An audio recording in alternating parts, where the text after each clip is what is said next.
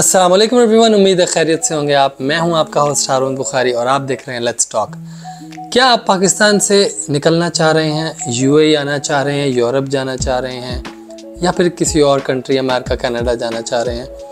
अगर specifically UAE आना चाह रहे हैं तो उसके बारे में मैं आपको कुछ टिप्स दूँगा और, और स्पेशली अगर जॉब करना चाह रहे हैं तो उसके बारे में मैं आपको कुछ टिप्स दूँगा इस वीडियो में और आने वाली वीडियोज़ में। तो ये वीडियो आपके लिए बहुत ज़रूरी है क्योंकि इसमें कुछ चीज़, चंद चीज़ें मैं ऐसे बता, ऐसी बताऊँगा तो जो शायद आपको ना पता हो और शायद कोई बताता भी ना हो। बहुत से लोग बताते भी हैं, लेकिन शायद आपसे उन लोगों की वीडियो आपकी नज़र से ना गुजरी हो तो ये वीडियो देखना आपके लिए बहुत ज़रूरी है। देखिए एज़ यू नो पाकिस्तान के हालात थोड़े डाउन हैं। इन हम दुआ करते हैं, उम्मीद करते हैं कि जल्द से जल्द पाकिस्तान के हालात वापस अच्छे हों और इवन हम भी जो लोग पाकिस्तान से बाहर काम कर रहे हैं, वो पाकिस्तान में जाके काम करें। और पाकिस्तान को सर्व करें।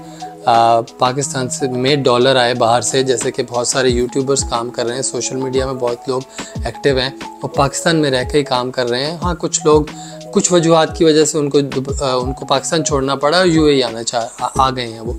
लेकिन एनी वो एक डिफरेंट टॉपिक है। स्पेसिफिकली uh, मैं उन लोगों के लिए ये वीडियो बना रहा हूँ जो अभी यूएई आना चाह रहे हैं क्योंकि देखें यूएई आना सबसे ज़्यादा इजी है। यूरोप कनाडा अमेरिका की तरह वहाँ पे आपको लंबी लाइनों में लग के कितनी इतनी देर लग के वीज़े की, की का वेट नहीं करना पड़ता इतने पैसे नहीं लगते हैं। हालाँकि पैसे यहाँ पे भी लगते हैं अगर आप एक बहुत ही लोअर तबके से यानी कि आप ऐसे तबके से ताल्लुक़ रखते हैं जहाँ पे आपकी इनकम इतनी ज़्यादा नहीं है और आपकी फैमिली भी, भी इतनी ज़्यादा इनकम नहीं है। तो और आप बिल्कुल हैंड टू माउथ हैं। उनके लिए आई नो ये ये भी अमाउंट बहुत मुश्किल हो जाता है जमा करना, क्योंकि आजकल जो वीज़ा का रेट है, दो महीने का वीज़ा है, उसमें ऑलमोस्ट आपको सात से आठ सौ, नौ सौ दरम लग जाते हैं, जो कि पाकिस्तानी ऑलमोस्ट सत्तर, अस्सी हज़ार रुपये बनता है। इसके अलावा टिकट्स बहुत महँगे हैं, फिर यहाँ पे रहने का ख़र्चा, ये सब कुछ है।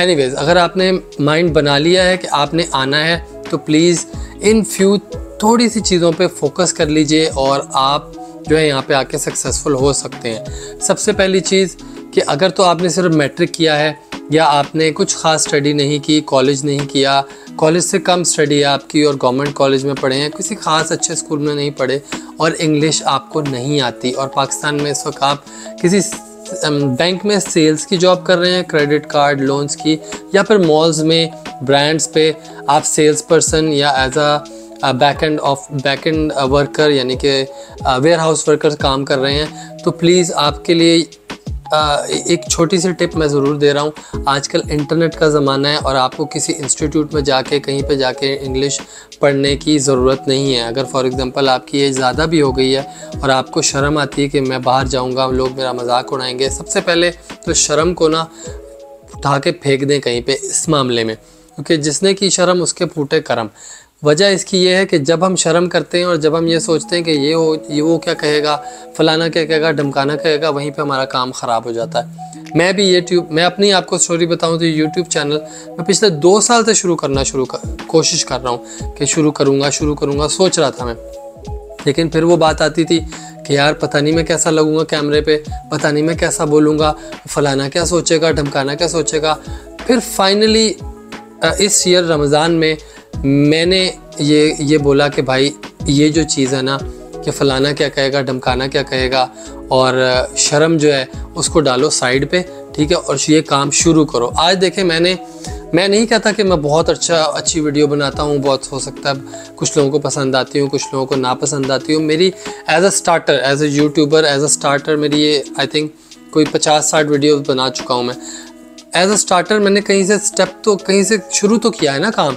लाइफ जो है ना, आपकी वो डेली आपको कुछ ना कुछ सिखाती है और आपको सीखना पड़ेगा स्पेशली ट्वेंटी फ़र्स्ट सेंचुरी अब हम ट्वेंटी सेकेंड सेंचुरी में जब एंटर होने जा रहे हैं तो अगर ट्वेंटी थर्ड सेंचुरी में या ट्वेंटी सेकेंड सेंचुरी में जो भी आप कह लें, अगर आपको सक्सेसफुल रहना तो आपको अपने आप को चेंज करना पड़ेगा, आपको अपने कंफर्ट जोन से निकलना पड़ेगा, तभी आप सक्सेसफुल होंगे। अगर तो आप यू में आना चाह रहे हैं तो ये छोटी कुछ टिप्स हैं। इन पर फोकस कर लीजिए। इंग्लिश अपनी अच्छी कर लीजिए, मैं आपको ये बता रहा हूँ। आपकी जो कम्युनिकेशन स्किल्स हैं, बेशक अभी आप आप फॉर एग्ज़ाम्पल मॉल में काम कर रहे हैं, कोई आप कपड़े बेच रहे हैं, या फिर आप सेल्स पर्सन हैं किसी शू स्टोर पे, या फिर किसी ज्वेलरी के ब्रांड पे, या किसी और ब्रांड पे ट्राई करें कि अपनी डेली लाइफ में कुछ वर्ड्स इंग्लिश के एंटर करें, कुछ वर्ड इन इंग्लिश के यूज़ करें। वो कस्टमर के साथ भी यूज़ कर सकते हैं, अपने दोस्तों के साथ भी यूज़ कर सकते हैं, जिसके साथ आप इजी फील करते हैं, जिसके साथ आपको ज़्यादा शर्म नहीं आती, या आपको लगता है ये मुझे जज नहीं करेगा, अगर मैं गलत भी बोलूँगा, आप उसके साथ वो फ्रेजेस यूज़ करना शुरू कीजिए। डेली लाइफ में जब आप ये ये रूटीन अपनाएँगे, आपका कॉन्फिडेंस बिल्ड होगा। कहीं पे अगर आप गलत भी बोल रहे होंगे, लेकिन आप कॉन्फिडेंस से बोलेंगे, मकसद ये नहीं बताने का कि आप गलत बोले, नहीं। कहीं पे लेकिन अगर आप गलत भी बोल रहे होंगे तो आप में कॉन्फिडेंस होगा, और उस कॉन्फिडेंस की वजह से वो जो आपकी एक गलती होगी, उसको लुक ओवर कर दिया जाएगा और ये कह दिया जाएगा हाँ चलो यार, ये कोशिश कर रहा है।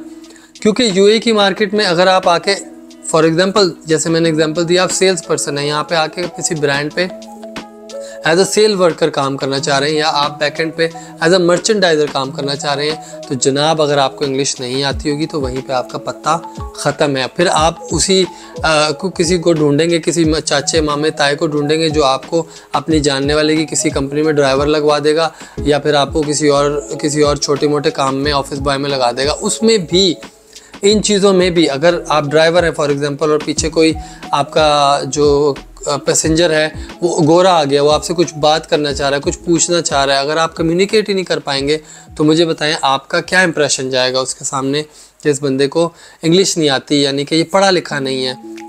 वो डिस्क्रिमिनेट नहीं करेगा, हो सकता है वो आपको बुरा भला ना कहे, लेकिन उसके माइंड में होगा कि यार उसको इंग्लिश नहीं आती है। तो ये जो चीज़ है, इसको कवर कीजिए। यहाँ पे यूएई में जॉब हासिल करनी है तो without communication without English language आपको अच्छी जॉब नहीं मिल सकती है। ये जो सेल्स की मैं जॉब कह रहा हूँ, यहाँ पे कंपटीशन भी बहुत है। जो कंपटीशन में पहले आगे चला जाएगा, वो सक्सेसफुल हो जाएगा। तो प्लीज़ इस चीज़ को अपने पल्ले बाँध लीजिए कि इंग्लिश आपने सीखनी है। अगर आप यूएई में आना चाह रहे हैं, दो, चार छः महीने लगाइए। ऑनलाइन इतने कोर्सेज मौजूद हैं। ऑनलाइन इतने लोग हैं जो इंग्लिश सिखा रहे हैं बेसिक से उससे शुरू कीजिए।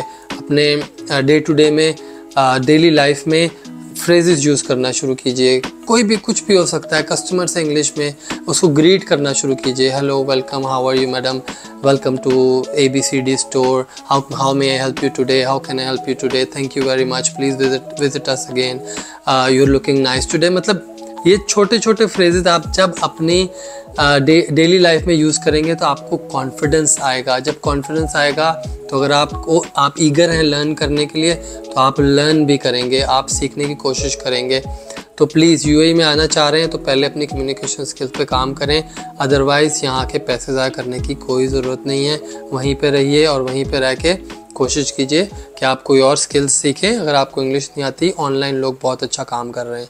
उम्मीद करता हूँ कि ये वीडियो आपके काम आएगी और और आप कोशिश करेंगे कि आपकी इंग्लिश स्पीकिंग स्किल्स अच्छी हो सके।